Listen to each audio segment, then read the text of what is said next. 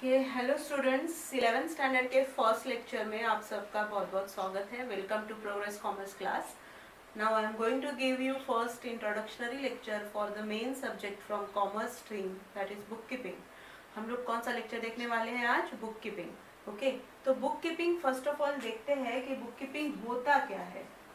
आपको इलेवेंथ और ट्वेल्थ में जो पढ़ना है, वो है बुक कीपिंग देखो, अभी आपने कॉमर्स साइड ली है। तो कॉमर्स साइड में ये मेन सब्जेक्ट है जिसको आपको लर्न करना है ओके तो ये सब्जेक्ट होता क्या है? ये पहले देखेंगे। देखो कॉमर्स क्या मतलब होता है कॉमर्स का? Commerce somehow related with commercial activities commerce में ही क्या छुपा है? Commercial things commercial activities okay somehow we can say that the word is driven from the word commercial so commerce वो उससे रिलेटेड है. कमर्शियल थिंग्स से रिलेटेड है. तो अभी जहाँ पे कमर्शियल एक्टिविटीज़ की बात आती है तो उसमें मेन थिंग आती है बिज़नेस ओके तो कॉमर्स में बिज़नेस ही बिज़नेस है। कॉमर्स में क्या है? बेसिकली बिज़नेस ही बिज़नेस है। आपको देखना है कि बिज़नेस कैसे चलाते हैं बिज़नेस में कैसे उसका रिकॉर्डिंग होता है। अभी देखते हैं हम लोग पर्टिकुलरली बुक कीपिंग किससे रिलेटेड है। बुक कीपिंग में होता क्या है?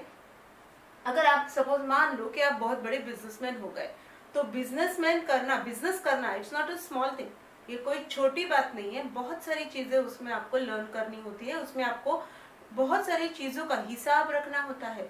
आप बहुत बड़े बिजनेसमैन हो गए तो ऐसे तो होगा नहीं कि आपने कुछ भी रिकॉर्ड नहीं रखा। ऐसे ही आप बिज़नेस करते हो और ऐसे ही आपको कुछ मालूम ही नहीं है कि प्रॉफिट हुआ है लॉस हुआ है। ऐसे नहीं होगा। आप बिज़नेस करते हो तो आपको हर एक चीज़ का इन डिटेल रिकॉर्डिंग भी रखना पड़ता है।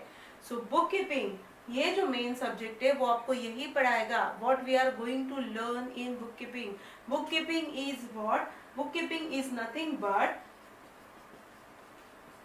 systematic recording of all business transactions bookkeeping is nothing but systematic recording of all business transaction. Business की जितनी भी ट्रांजेक्शन है, बहुत सारे खर्चे होते हैं, हम कुछ ना कुछ एसेट प्रॉपर्टी परचेस करते हैं गुड्स परचेस करते हैं सेल करते हैं। हर एक चीज़ का अकाउंटिंग होना बहुत ज़रूरी है। हर एक चीज़ का सिस्टमैटिक रिकॉर्डिंग होना बहुत ज़रूरी है। In book keeping we are going to learn how to keep systematic record of each and every transaction तभी तो ईयर एंड में हमको पता चलेगा कि प्रॉफिट हुआ है कि लॉस हुआ है। प्रॉफिट हुआ है कि लॉस हुआ है, कितना हुआ है, कितने परसेंट से हुआ है, वो तो बात की बात है। लेकिन पहले तो हमें ये रिकॉर्ड में रखना है कि कितनी ट्रांजेक्शन हुए हैं, उसको प्रॉपरली सिस्टमेटिकली रिकॉर्ड कैसे करना है, वो हम लोग देखेंगे under book keeping so book keeping क्या होता है? Book keeping is nothing but the systematic recording of all kind of business transaction तो इसमें देखो, एक मेन चीज़ आई है, एक मेन वर्ड आया है transaction what does it mean transaction का मतलब क्या होता है? Transaction is nothing but Marathi मध्ये आपण त्याला म्हणतो व्यवहार. हिंदी में बात करते हैं, बहुत सारे हम लोग जो व्यवहार करते हैं, हम लोग जो डील्स करते हैं, उसको क्या बोलते हैं? ट्रांजेक्शन तो ये ट्रांजेक्शन आपको रिकॉर्ड करनी होती है। तो ट्रांजेक्शन रिकॉर्ड करनी है तो ट्रांजेक्शन में बहुत सारी अकाउंट्स बहुत सारी अकाउंट्स आपको मेंटेन करनी होती है। ट्रांजेक्शन जहाँ पे आती है तो उसमें क्या आता है? Transaction includes various kind of accounts accounts accounts का मतलब क्या है? अब बहुत सारी चीज़ें, देखो जैसे आपने सैलरी पेड किया, आपने अपने वर्कर को सैलरी पेड किया तो आप क्या करके, क्या नाम से उसको लिखोगे? आप लिखोगे सैलरी ठीक है ना? आप रेंट पे करते हो तो आप लिखोगे रेंट अगर आपने अपने बिज़नेस के लिए कंप्यूटर परचेज किया तो कंप्यूटर ही लिखोगे ना? बिल्डिंग तो नहीं लिखने वाले उसको तो आप उसका रिकॉर्ड कैसे लिखोगे? कंप्यूटर ओके, कंप्यूटर, ये करके रखोगे अगर आप मशीनरी परचेस करते हो तो आप उसका अकाउंट बनाओगे, मशीनरी। तो ये होती है अलग अलग अकाउंट्स ये ए ऑब्लिक सी ये जो मैं लिख रही हूँ, ये क्या है? अकाउंट्स का शॉर्ट फॉर्म है। ओके? तो बहुत सारी ट्रांजेक्शन हम लोग करते हैं, और हर एक ट्रांजेक्शन में कम से कम, हर एक ट्रांजेक्शन में, देखो, हर एक ट्रांजेक्शन में कम से कम दो अकाउंट्स होती है। कितनी अकाउंट होती है? हर एक ट्रांजेक्शन में कम से कम दो अकाउंट होती है, ठीक है? तो दो अकाउंट्स का रिकॉर्ड हमको रखना होता है। कम से कम एक ट्रांजेक्शन में दो अकाउंट्स होते हैं और ये दो अकाउंट का रिकॉर्ड हमको प्रॉपरली सिस्टमैटिक वे में रखना होता है, okay?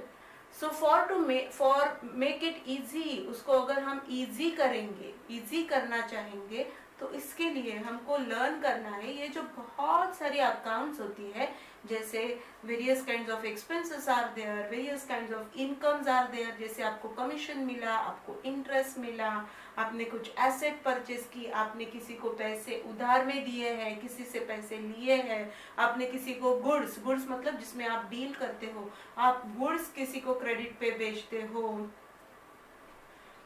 किसी पे क्रेडिट को, किसको क्रेडिट पे बेचते हो तो वो सारी वो सारा जो रिकॉर्डिंग है, वो आपको अलग अलग ट्रांजेक्शन्स का रिकॉर्डिंग कैसे करना है, ये हम लोग बुक कीपिंग में देखेंगे। ओके तो मैंने आपको क्या बताया?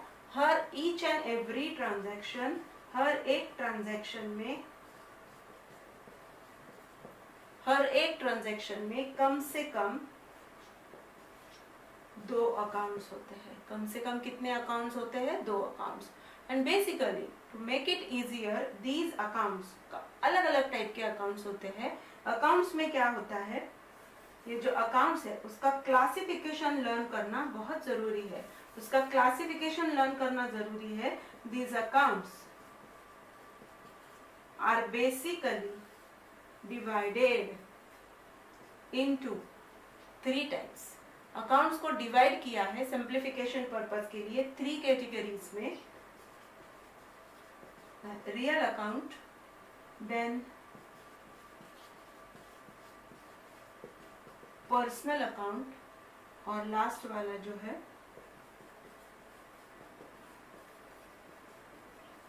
नॉमिनल अकाउंट अकाउंट्स को कितने टाइप में क्लासिफाइड किया है? Accounts are basically classified into three parts real account, personal account, nominal account. Now what comes, what kind of accounts classified under real account? Real account में किसको classify करना होता है? All kind of assets. Assets का मतलब क्या होता है? Properties of business. All kind of assets or properties of the business. For example, आपके पास बिज़नेस में कैश पड़ा हुआ है तो आपके एसेट है आपकी प्रॉपर्टी है है तो कैश अकाउंट आपका बैंक बैलेंस बैंक अकाउंट आपके ऑफ़िस में पड़ा हुआ फर्नीचर फर्नीचर अकाउंट आपकी खुद की ऑफ़िस बिल्डिंग है बिल्डिंग अकाउंट आपके फैक्ट्री में प्लांट है प्लांट अकाउंट ये सब क्या हो गई आपकी एसेट्स तो सारे टाइप की एसेट्स किसमें क्लासिफाइड होती है? Under the head real account all assets are classified under the head real account okay business है तो बिज़नेस में एसेट्स तो होंगी ही। ऐसे नहीं होगा कि एसेट नहीं है। एसेट तो होगी, जो भी बिज़नेस होगा, खुद का शौक हो सकता है तो वो आएगा बिल्डिंग में। फर्नीचर बनाया फर्नीचर में cash balance bank balance okay तो ये बहुत सारी एसेट्स जो होती है, वो सब किसमें आती है? Under the heading real account clear up to this thereafter personal account if you observe the name it person included in the personal account, okay? Personal account includes what? इसमें क्या क्या जाएगा अभी? अकाउंट्स ऑफ़ वेरियस पर्सन्स जो persons है, उनके accounts उसमें individual account for example Ram account इसी में जाएगा ये इंडिविजुअल का है। Mister X account individual account है। Not only of individuals, apart from individuals, those who are having separate legal existence. For example, अभी आप एडमिशन करा रहे हो, आपका admission C H M college में हुआ तो आपने सी एच एम को फ़ीस पे किया तो सी एच एम को दिया हुआ फ़ीस आप एम सी सी के नाम से तो नहीं बताओगे। सी एच एम अपने नाम से जाना जाता है, चांदीबाई कॉलेज तो वो C H M account because the C H M is having separate legal name separate legal existence तो ज़रूरी नहीं है कि सिर्फ़ आदमी लोगों के अकाउंट ही इसमें आए। इसमें इंस्टीट्यूशंस के, जिनको अलग से नाम है, वो सारे अकाउंट्स भी यहाँ पे आते हैं। C H M account if you are having account with S B I आपका एस बी आई में अकाउंट है तो एस बी आई को आप कैनरा बैंक बोलोगे क्या? नहीं। तो S B I account SBI से आपने लोन लिया तो आप उसको क्या बोलोगे? SBI में लोन है ना आपका? अगर आपने SBI से लोन लिया है फॉर एग्ज़ाम्पल ये समझने में बहुत ईजी है। आपने SBI से लोन लिया तो आप एस लोन करके बोलोगे ना उसको? तो S B I loan account इसमें जाएगा। उसको आप IDBI loan Canara bank loan नहीं बोलोगे? उसको आप पर्टिकुलरली नाम से SBI लोन नाम से ही बोलोगे। ओके अगर आप हिंदुजा हॉस्पिटल है फॉर एग्ज़ाम्पल तो Hinduja hospital is separate then KEM hospital is separate. Each and every institution is recognized by its own name. हर एक इंस्टीट्यूशन को उसके नाम से जाना जाता है। तो जिनको अपना अलग से नाम है जिनको अपना अलग से एंटिटी है जो इन अपना अलग से एंटिटी रखते हैं बाय लॉ वो सारे अकाउंट्स किसमें जाते हैं? पर्सनल अकाउंट में। ओके तो इसमें एस लोन आया देर आफ्टर इसमें आया अगर हम लोग हम, हमारे बदलापुर का लेंगे तो धनवंतरी हॉस्पिटल है कि नहीं? धनवंतरी हॉस्पिटल अकाउंट ये अलग अलग अकाउंट्स जिनको सेपरेट नाम है, जिनको सेपरेट एग्जिस्टेंस है those who are having separate legal existence are classified under the head personal account clear real में क्या जाता है? All kind of assets all kind of assets of the business properties of the business classified under real account all kind of personal accounts जैसे कि राम है X Y Z है S C H M है, S B I है hospital है, school है, college है, जिनको सेपरेट लीगल एग्जिस्टेंस है। That all comes under personal account and last वाला जो है, वो नॉमिनल अकाउंट तो नॉमिनल अकाउंट में क्या जाता है? नॉमिनल अकाउंट में जाता है all kind of expenses losses income and gains इसमें क्या जाता है? All kind of expenses losses incomes and gain तो इसमें क्या जाएगा? जिससे अपनी सैलरी पे किया, आपका खर्चा है। तो सैलरी अकाउंट इसमें जाएगा। आप लेबर को वेजेस देते हो तो वेजेस भी आपका खर्चा है। वेजेस अकाउंट भी इसमें जाएगा। अगर आपको कमीशन मिलता है तो कमीशन रिसीव्ड आपका इनकम है। क्योंकि इसमें इनकम भी रिकॉर्ड होते हैं, इसमें एक्सपेंसेस भी रिकॉर्ड होते हैं। So all kind of income and expenses by whatever name carriage expenses है कमीशन रिसीव्ड इनकम है रेंट रिसीव्ड इनकम है इंटरेस्ट रिसीव्ड इनकम है all kind of expenses losses loss by fire loss है। तो सारे expenses और losses जो है, वो कौन से हेड में आते हैं? नॉमिनल अकाउंट के हेड में आते हैं। अभी इसमें एक ध्यान में रखने वाली बात कौन सी है? The thing which require to be remember year ये भी तो आपने फर्नीचर परचेज किया बिल्डिंग परचेज किया प्लांट परचेज किया, ये भी तो आपने खर्चे ही किए हैं। फिर इसको हम लोग ने यहाँ पे रियल अकाउंट में क्यों डाला? ये भी तो अपना खर्चा है और ये भी तो अपना खर्चा है। फिर उसको क्लासीफाई कैसे करेंगे?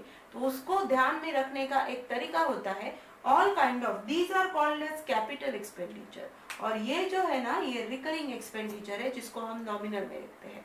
इसका मतलब क्या है? देखो आप फर्नीचर परचेस कर रहे हैं। आपने दस हज़ार का Uh, कुछ भी फर्नीचर परचेज किया। You are going to use it for many years no आप उसको बहुत सालों के लिए यूज़ करने वाले हो दैट क्रिएट्स योर एसेट वो उससे आपकी एसेट बनती है. This is non recurring in nature ये वेरी इंपॉर्टेंट चीज़ है. इसको ध्यान में रखो, ये नॉन रिकरिंग खर्चे हैं. नॉन रिकरिंग का मतलब क्या होता है? जो बार बार नहीं होते, जो एक ही बार होते हैं कभी कभार दो, चार, पाँच साल में एक बार करते हैं तो उसको क्या बोलते हैं? Non recurring expenses that creates assets for you वो आपकी एसेट बन जाती है. इसीलिए उसको रिकॉर्ड करते हैं under the heading real account okay और बाकी के जो खर्चे हैं, आप यहाँ पे देखोगे सैलरी तो हर महीना देनी पड़ती है। वेजेस हर महीने में देने पड़ते हैं। कमीशन बार बार देना पड़ता है। इंटरेस्ट हर महीने का मिलता है। मिलता है कि नहीं? साल में हर बार वो आपको बार बार मिलता है। All these are recurring in nature that's a very important thing these are recurring these are non recurring these are called as capital expenditure these are called as revenue expenditure आगे जाके हम लोग देखेंगे ये सारी चीज़ें। इंट्रोडक्शन पार्ट में मैं आपको इतना बता रही हूँ कि नॉमिनल में कौन से खर्चे आने चाहिए, कौन से इनकम आने चाहिए, जो रिकरिंग नेचर के हैं, वो आने चाहिए नॉमिनल अकाउंट में। और जो रियल अकाउंट में क्या आने चाहिए, आपने भले कुछ भी खर्चा किया है फर्नीचर परचेज किया बिल्डिंग परचेज किया, दो these are expenditure these are your capital expenditure non recurring in nature तो वो सारे किसमें आएँगे? Under the heading real account so my dear students it is very important to note that all accounts all accounts. Bookkeeping is what? Bookkeeping is particularly systematic record of all business transactions.